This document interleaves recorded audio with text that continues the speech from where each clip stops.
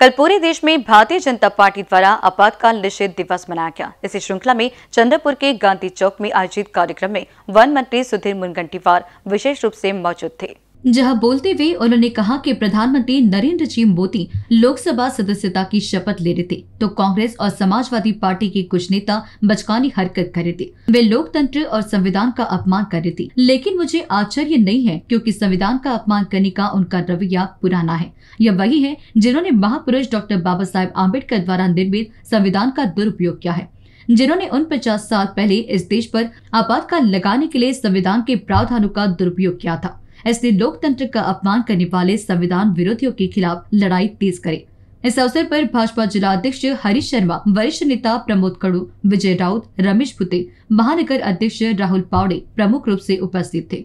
इस अवसर पर संविधान बचाओ, कांग्रेस हटाओ के नारों के साथ आपातकाल के दौरान जेल में बंद अपने परिवार से दूर, जेल में रह रहे नारायण राव पिंपलापुरी का अभिनंदन किया गया।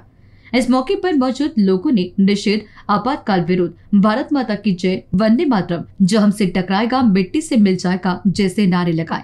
इस अवसर पर मुनगंटीवार ने कहा कि उन पचास साल पहले 25 जून 1975 का दिन देश के लोकतंत्र के लिए एक काला दिन था। तत्कालीन प्रधानमंत्री 12 जून 1975 को इलाहाबाद उच्च न्यायालय ने चुनावी कदाचार और सरकारी अधिकारियों के साथ दुर्व्यवहार के लिए इंदिरा गांधी को अयोग्य घोषित करने का साहसिक निर्णय दिया।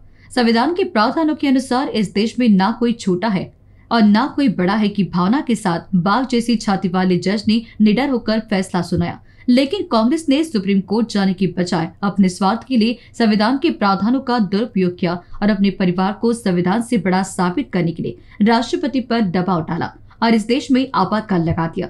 आज हम उसी आपातकाल के विरोध में एक साथ आए हैं। कैमरा पर्सन राजकुमार मोहर के साथ मनीष टेमरी की रिपोर्ट।